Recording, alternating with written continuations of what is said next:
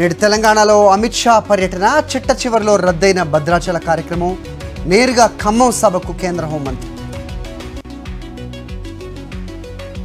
దళిత గిరిజనులకు ఇళ్ళ స్థలాలు పేదల ఇల్లు కట్టుకునేందుకు ఆరు లక్షల సాయం పన్నెండు అంశాలతో డిక్లరేషన్ ప్రకటించిన తెలంగాణ కాంగ్రెస్.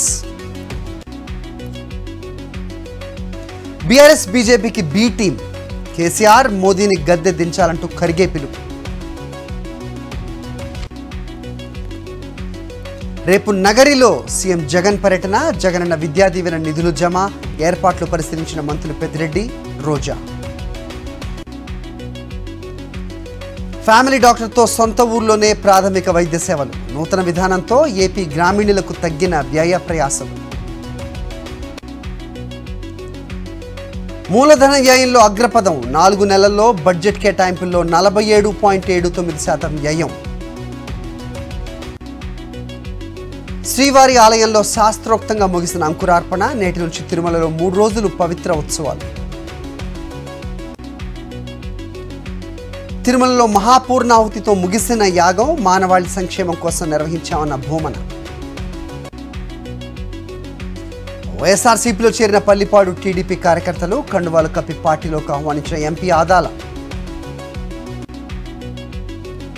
ఇసుకపై చంద్రబాబు విపచ్చి అబద్ధాలు. ప్రభుత్వంపై విషం చిమ్ముతున్నారన్న పెద్దిరెడ్డి. కోటి వృక్షార్చనలో హెచ్ఎండిఏ రికార్డ్ ఒక్కరోజే నాలుగు లక్షల పదమూడు వేల మొక్కలు నాటిన సిబ్బంది. జంట నగరాల్లో బ్యానర్లపై జిహెచ్ఎంసీ కొరడా నిబంధనలు ఉల్లంఘించిన వారికి చలాన్ల విధింపు. ఇబ్బంది పెడితే ఎవరినైనా తిడతా? నేటి నుంచి మల్కాజ్గిరి నియోజకవర్గంలో పర్యటిస్తా అన్న మైనంపల్లి. బీఆర్ఎస్లో బయటపడుతున్న అసమ్మతులు ఖమ్మం జిల్లాలో తుమ్మల వర్గం ర్యాలీలు సమావేశాలు. ల్యాండర్ దిగిన ప్రాంతానికి శివశక్తిగా నామకరణం ఆగస్టు ఇరవై మూడును స్పేస్ డేగా ప్రకటించిన ప్రధాని. విజయాల పరంపర కొనసాగిస్తోన్న చంద్రయాన్ త్రీ శివశక్తి పాయింట్ చుట్టూ తిరిగిన ప్రజ్ఞాన్ రోవర్.